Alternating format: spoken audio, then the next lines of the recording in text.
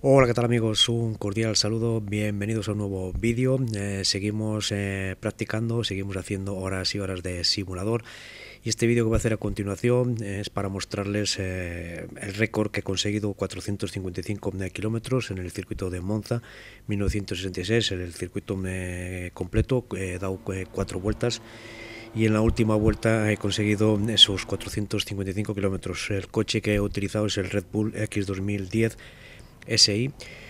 En las primeras vueltas anduve raspando, he tenido varios sustos, conseguí controlar el coche y al final ya en la última vuelta conseguí pues hacer los 455 kilómetros. Anduve ahí a 450, 445 y al final del todo pues conseguí los 455. Voy a subir los dos vídeos, tanto el vídeo con la cámara como el vídeo eh, completo que, que acabo de, realizar esas cuatro vueltas.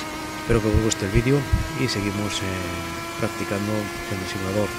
Poco a poco vamos mejorándolo y cuando ya lo tenga finalizado por completo ya haré el vídeo entero con todo lo que le estoy acoplando y instalando. Pues nada más, les dejo con el vídeo. Un cordial saludo, chao.